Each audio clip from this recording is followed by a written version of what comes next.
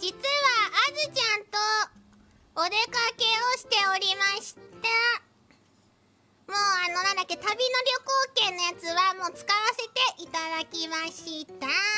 実は富士サファリパークにあずちゃんと一緒に実は行っておりました。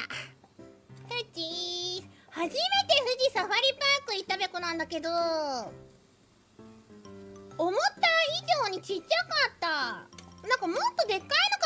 かと思ったかき氷あずちゃんと食べたその富士サファリパーク行った日にこれうまそうでしょこれ食べたかき氷ね実際のなんかねローズローズストロベリーかき氷みたいなやつオシャンティでしょオシャンティなもの食んだよねこの富士サファリパーククのさ写真さちょっと見たい？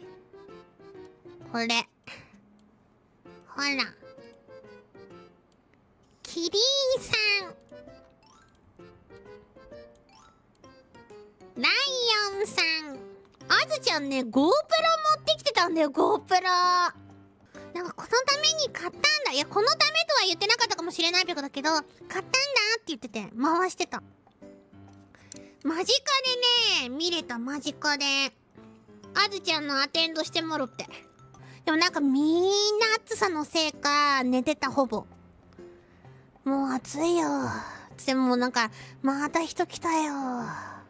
もうこんな感じずっと。日陰で、っていうのがね、ほとんどだったわ。もう慣れてたね、完全に。